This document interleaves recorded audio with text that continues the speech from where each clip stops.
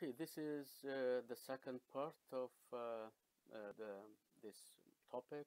Now I'm going to show you how to display categorical data after we went through in the first video about the difference. Uh, now we want to see how we do that. Of course, categorical data, the best way is to um, to present them in in a in a counting way. So what mean counting? It means the only way you can do for for categorical data is to count how many people in these categories, right? So you cannot really calculate average or standard deviation or anything that we know from uh, the usual statistic, but when it comes to categorical data, the only way is to count how many item or elements or objects inside each of these categories. So we're gonna show you later on how to do that uh, with the real data. So I can show you some stuff on on Excel. Yeah, so let me go ahead here and show you. This is a bar chart, uh, but in a vertical way. And you can see on the right hand side here, two, uh, the same data uh, being represented in different ways. You always might really ask the question, what should I use? Uh, should I use the vertical or the horizontal one? Uh, yeah, that's a, could probably a very important point. Uh, we always recommend to use the horizontal line if um, if you want to sort them uh, like this one here with the highest and then the lowest but you can make it even the other way around so I would like to have the always the the, the highest bar here uh, to be the first group and then the next highest and so on in in a, in a, in a kind of descending way, not an ascending way like this one. Uh, um, the vertical makes more sense if the groups related to time, for instance, time uh, like a season, season one, season two, season three, or maybe quarter, quarter one, quarter two, and so on, or maybe years, year one, year two, year three. So it will make more sense. You put the bars uh, as vertical representation if the categories are more uh, related to time and they have certain order. But if uh, this is very good for basically uh, ordinal data but for nominal data uh, it's the best way to represent data is horizontal bar like this one uh, by keeping uh, the highest category on the top in again descending way, not in ascending way as you see here. Uh, another way to represent um, categorical data is pie chart. Pie chart has advantage and disadvantage. The disadvantage of, um, let's talk about the advantage. Advantage is basically you can see all of them related to each other uh, with the relative um, size. Why? Because the pie has to have 100% space or area and each slice here represent part of the pie. So it's a very interesting to visualize data using pie. When you have um, few categories not many because if there are many some of the slice will be uh, probably dominant or some of them they will be um, or will vanish. So this is the best way. So it's a very good for low number or few number of uh, categories um, definitely in current uh, software uh, industry, uh, most of the software can offer uh, what they call stacked um, bar chart, where you can also show the relative size of each one. So pie is good only for uh, to show relative size against each other. Pie is good for only few number of categories. Otherwise, you have to choose one of these a bar a physical as a vertical or horizontal based on what I just mentioned the difference here. Here it's another uh, interesting example to show that this was relevant to use pie because we have only three and uh, it would be nice to show it like that. So this is very relevant. We have an interesting case here uh, when we have only one variable like the above here. It's, uh, yeah, you can show each variable separately as bar, as pie chart, but when it comes to two variables like this one, this is the country on the um, column side here. And you have an answer of a certain question, no, yes, and NA not applicable. Uh, the question was related to whether or not uh, you are using uh, internet or something like that. So those are the number of people uh, in Britain who answered this question by no. Uh, the same uh, country, this is the number of people who answered by yes, and this is the 153 is number of people in Britain who answered by say no, not available or not applicable for me. So you can see in Britain we have uh, uh, 1018 uh, respondents.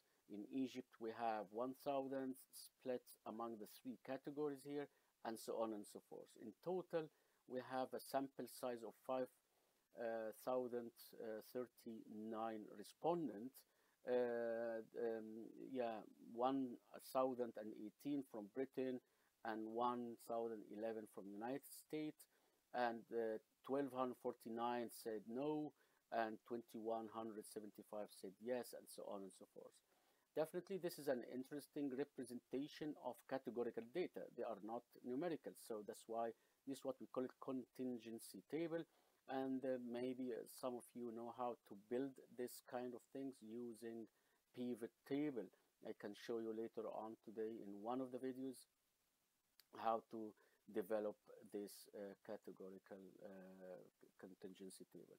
Uh, but we can get a lot of interesting values here. Uh, this is, by the way, um, here, let me draw something here. Maybe I can find a drawer uh, to draw something here. Yeah, maybe. Let me see. Okay, yeah. Uh, this is what we call it, basically, a kind of marginal total and this is also marginal total. So those are marginal total uh, for uh, the countries and this is for the answer of the question. Uh, but in, in, in some cases we are interested to know what is the probability if I choose anyone if there is uh, if I if all of these people are being in, in a room and this room is basically uh, all of them they are inside so if you are here and you want to uh, yeah you don't see who is coming out from this door when you open it but someone is coming up uh, out. The question is what is the possibility that this person is from Egypt? If this is the question then it looks like uh, you're gonna really uh, get the 1000 from Egypt divided by this value right? This is very simple. Uh, the other question is what is the possibility that this person has answered with uh, irrespective of which country? What is the probability that this person will answer or answer by yes in this case uh, answer by yes then you're gonna take this value here okay it looks like I need to get again here okay so uh, answer by yes, then I'm gonna take this value here and again divided by this value here, right? So this is so this is uh, kind of uh, interesting questions, but let us make it a little bit harder. When I say I know this person is saying uh, he answered by no. So what is the probability or the possibility that this person is from Germany? Germany, okay. So then if we know the person, if we know that the person answered by no, then we have only to look at this total here. And out of 1249, how many German people? This is the German people. So the answer will be 460 divided by 1249. So you have to be very careful here uh, how the question will be asked and uh, which base you are basing on. So this is what we call it conditional probability and give you another one. What's the pro probability that the person who is from Egypt, Egypt, that he answered by yes or she, okay? So if it's Egypt, then you have to look only to this because it's a Egypt, then you have to look at this total only 1000 and out of the 1000 Egyptian, then how many of them they got yes here so this uh, this is the 300 so basically you're gonna divide 300 by 1000 here. So this is 300 divided by 1000. This is the possibility. But the first one here, if no, then immediately you're going to divide by 1249 irrespective what you're going to really ask later. But you are interested in the German, so 46 divided by this number. So I hope this is clear. So let me continue with the next uh, subject here. This is what I told you before. If you have data that you want to put it like pie chart, but you have multiple subcategories, which will be very tough to represent that using pie because you can use pie for each one separately. So sometimes makes sense, sometimes not. But here it's um, uh, some of the software like Excel uh, gives us an interesting way to uh, build what we call stacked vertical bar chart uh, where you can see the man is already uh, classified according to uh, subcategories. So if you have categories and subcategories, then pie chart will not be possible, but the bar chart, especially the vertical or even horizontal, can be used, but we call it stacked uh, representation, stacked uh, bar chart.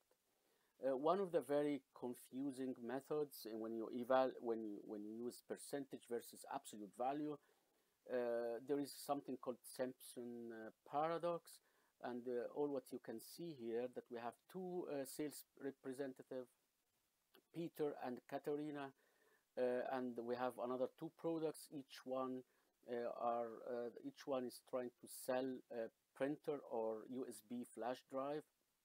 This is a product. So you can see here Peter has sold 90 printer out of 100 that he approached. So uh, obviously his efficiency or productivity in this case is 90%, while Katerina, um, 19 out of 20, it looks 19 less than 90, so who is going really uh, to, um, to, to give us uh, yeah, more money? Yeah, he sold 90. So although Katerina is, uh, based on percentage, is better than Peter, but to be honest peter is better because if you sell more product it's definitely better. But you can see here this is part of the paradox that you can see although Katerina from percentage is better than Peter nevertheless you have to be very careful uh, when you look at this. Uh, when it comes to USB uh, the, it goes uh, a little bit even more interesting here.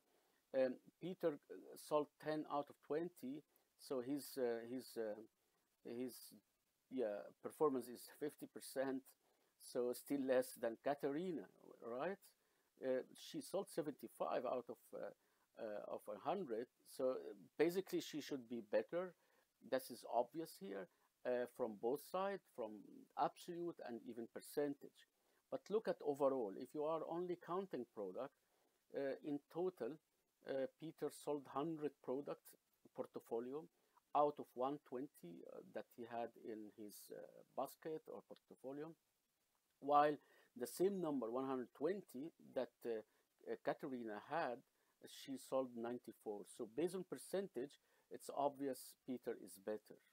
So you can see, although Peter uh, Peter is better here, but you can see in some product, uh, you, Peter could be not the best in in in this uh, in this exercise. So uh, Simpson paradox is very interesting. Uh, the message here is be careful when you look at your performance from percentage. You still need to look at an absolute value. Otherwise, you might be very unfair when you evaluate uh, anything, maybe people or maybe a process or operations. Uh, one of the uh, very important thing we tell everyone, don't ever use um, 3D uh, like this one. So if you would suggest which one you're going to use for the same data, always stick to the uh, two dimension unless the third dimension is really data. But in, uh, if, if you think this is nicer uh, to present it in a, in a 3D, I don't think this is anyone will be happy to see it. As well here, this may be uh, again a pie chart. I don't know why uh, you need to do it in a in a way like that, but uh, again stick to the two dimension. This is also not an interesting representation of the data or categorical data, you can see here, it's really, really very, very uh, not representative. Uh, yeah, why? Uh, it's basically the best way is to represent in two dimension. So guys, I'm gonna finish this. We finish already uh, this part related to uh, how to represent or present or display categorical data. Uh, and you can go ahead and uh, watch it again. So the next video will be related definitely uh, to the numerical data.